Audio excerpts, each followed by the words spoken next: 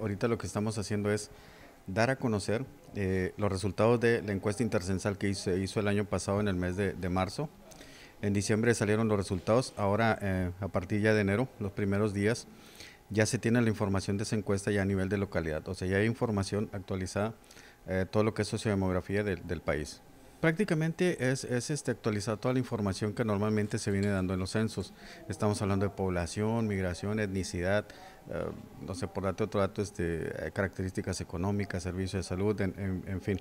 Hay dos, temas, hay dos temas muy interesantes que se acaban de, incorporar en esta, en esta encuesta, que es alimentación y el trabajo no remunerado, por ejemplo, como lo que son las amas de casa. Eh, y prácticamente, bueno, el para qué sirve. Esta información, o sea, tiene muchas, muchas utilidades. Básicamente, actualmente, cualquier decisión que tomes siempre está basada en la información. Entonces, eh, prácticamente, eh, pues no sé, políticas públicas, tanto al municipio como a tanto el gobierno estatal, federal, municipal, eh, y bueno, y al público en general, pues si están haciendo algún tipo de estudio, al, menos con lo que es población.